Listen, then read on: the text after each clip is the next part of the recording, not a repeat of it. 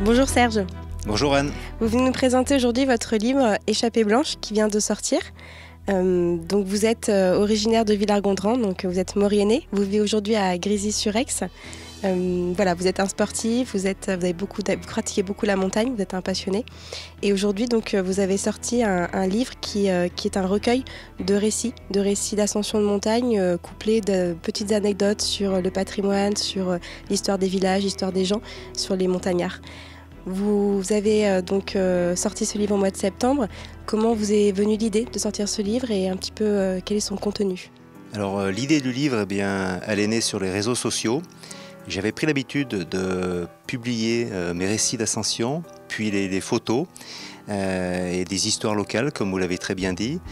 les gens sur les réseaux sociaux m'ont encouragé à sortir, à aller plus loin que ces, publications, et euh, ils m'ont encouragé à franchir le pas de l'écriture.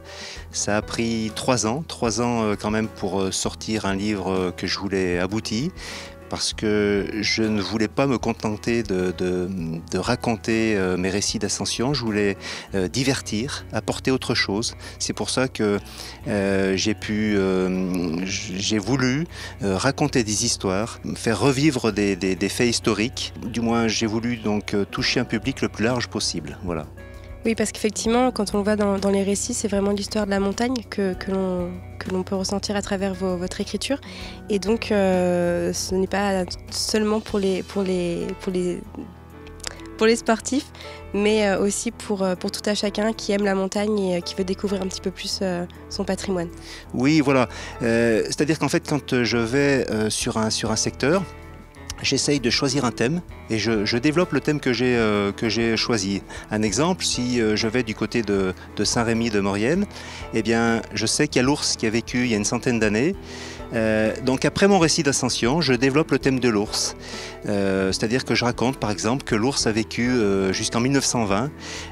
C'était un ours assez particulier, par exemple, il s'était adapté, il avait adapté son régime alimentaire, il était devenu plus petit au fil des, années, des centaines d'années. C'était une espèce endémique. Donc je raconte comment il a pu survivre, comment il, a disparu également. Voilà. Donc tout le, livre est basé là-dessus, des récits d'ascension et puis ensuite des histoires locales.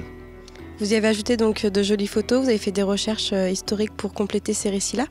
Et vous avez été donc euh, aidé d'Alain Escoffier, qui est, euh, votre coéquipier dans les Ascensions, qui a également réalisé la préface, et puis de Patrick donc, qui a compilé ou fait quelques clichés. Oui, tout à fait. Euh, Patrick Golan, j'ai fait appel à lui parce que je voulais justement faire un chapitre euh, sur la faune de montagne. C'est un photographe talentueux, donc il a réalisé euh, des clichés animaliers. Alain Escoffier, c'est mon équipier, c'est avec lui que je fais la plupart des, ascensions en montagne. Il m'a écrit une, belle préface. D'accord. Vos ascensions, donc vous les avez faites en Maurienne, dans le massif du Mont Blanc et puis autour des aiguilles d'arbres. Donc vous avez parlé de Saint-Rémy. Est-ce qu'il y a une autre anecdote que vous souhaiteriez citer, euh, qui, que vous avez découverte ou euh, que vous avez, euh, dont vous parlez dans votre livre sur la Maurienne? Ici, par exemple, bah, on peut parler des, des, greniers de Courchevel. Les greniers de Courchevel, en fait, ils viennent de Jarrier, d'un petit village que tout le monde connaît au-dessus de Saint-Jean-de-Maurienne, parce que on est à la création de la station à Courchevel en 1950. Au départ, c'est pas du tout une station qui est destinée à être ce qu'elle est maintenant. On connaît tous Courchevel comme une station luxueuse, euh, mais au départ, Courchevel, c'est pas ça du tout. Et en 1950, à la sortie de la guerre, on manque de moyens, donc l'architecte est venu euh, acheter des greniers ici à Jarrier. Il les a démontés, il les a remontés à Courchevel, et c'est devenu l'attraction de la station. Aujourd'hui, on a 20 petits chalets qui ont été transformés, mais qui sont en fait des greniers de, de, Jarrier. Voilà.